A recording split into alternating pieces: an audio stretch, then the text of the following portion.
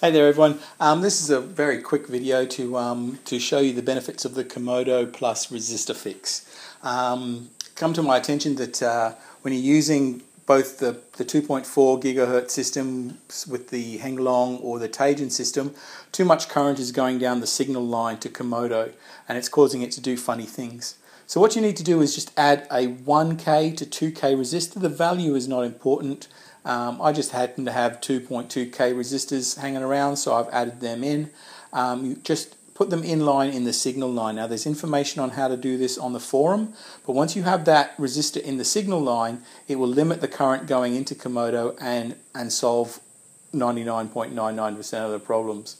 Okay, sorry for a bit of the jumble, but I just I just wanted to get these videos up and happening. Uh, you know, I've got to get back onto Taipan and everything else. But um, anyhow, so we have a Komodo in this unit with a resistor. It's a 2.4 Heng Long system. Here's the radio I'll be using.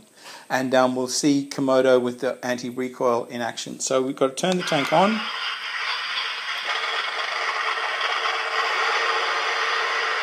Now, of course, when you fire, forward button, okay, as you can see, Komodo straight away, and that wasn't a problem when you were just sitting still. The problem came when you were on the move. Okay, and you stopped and then fired, um, Komodo would start doing crazy things. But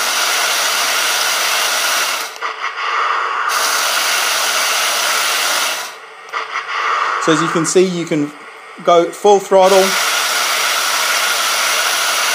then stop and fire, and um, and that, that problem is fixed. Uh, I'll have a go firing while on the move.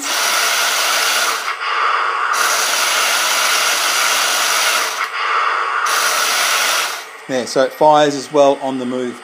So as I said, it's a very simple fix. Um, you just need to limit the current that's going to the um, Komodo by adding this little resistor in line. Okay, I'll, I'll, I'll, probably keep the video short, keep it there. Um, thanks for watching. Get on to me if you need help with adding this resistor into the signal line for Komodo. Thank you.